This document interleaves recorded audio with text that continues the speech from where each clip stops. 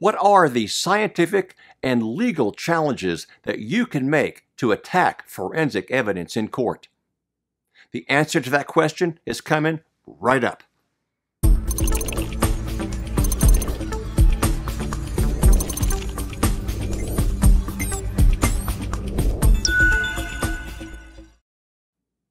Welcome to Gustitis Law.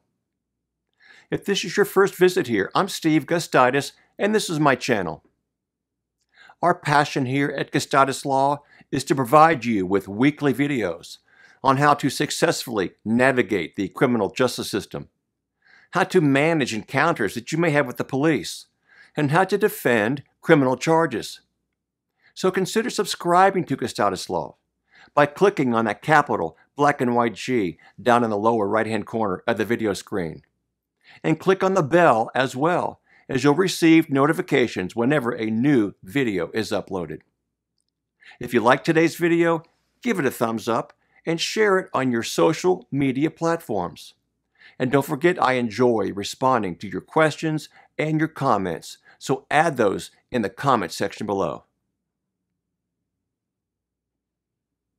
This video is number two in our series on forensic evidence and how to defend against it in court.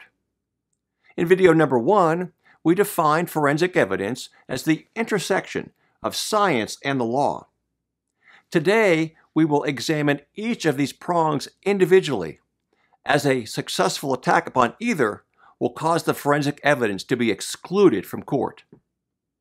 Links to other videos in the series can be found down in the description section.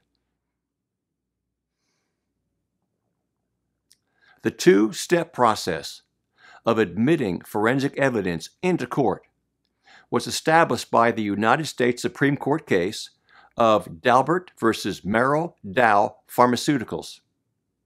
In Daubert, the court decided that the proponent of the evidence that is the side of the case trying to get the evidence admitted into court, had the burden of proof to show that the evidence was both reliable and relevant to some issue in the case. So let's start digging in.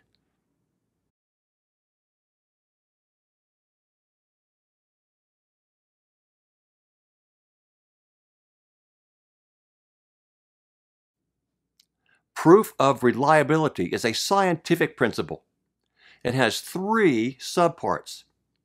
If any one of the three subparts is not proven to the satisfaction of the trial court judge, the forensic evidence cannot be admitted into court. Number one, the proponent of the evidence must prove that the underlying scientific theory of the evidence was in fact valid. For instance, if a prosecutor utilizing a professional chemist, wanted to prove blood alcohol concentration in a DWI prosecution utilizing the, the technology called gas chromatography, they would need to prove that the underlying theory of gas chromatography was valid. Number two, the proponent of the evidence must prove that the technique which applied the scientific theory, was in fact valid as well. In our DWI trial example, the prosecutor would need to prove that the procedures and the equipment used by the chemist to determine blood alcohol content were capable of producing a result that would be acceptable to the relevant scientific community. Number three, the proponent must prove that the technique was properly applied in the current case. Taking our DWI trial example again, the prosecutor's chemist would need to prove that they properly utilized the established equipment and procedures to produce the BAC result that they were attempting to admit into court. Now, the important thing for us to remember again is if any one of these three subfactors of reliability are not proven to the trial court satisfaction, the forensic evidence cannot be admitted into evidence.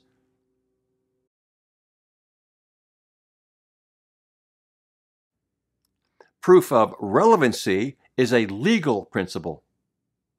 Even if the forensic evidence is scientifically reliable, the proponent still must prove to the trial court judge that the evidence is relevant. In other words, the evidence has any tendency to make a fact of consequence more or less probable than it would be without the evidence. That is the legal test of relevancy in court. In our blood test example, a reliable blood alcohol content determined based on the scientific principle of gas chromatography would certainly be relevant in a DWI trial where a fact of consequence would be the level of alcohol in a person's blood. In that particular case, the evidence would probably be admitted into court.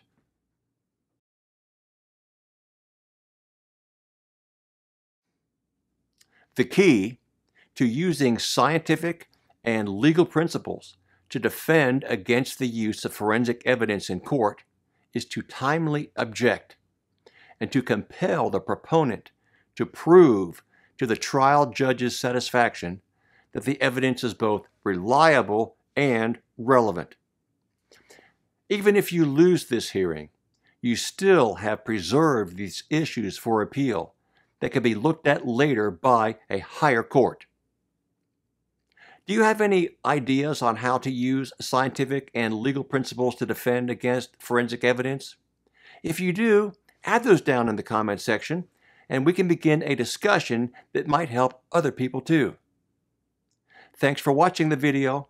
I look forward to seeing you next time at Gustitis Law.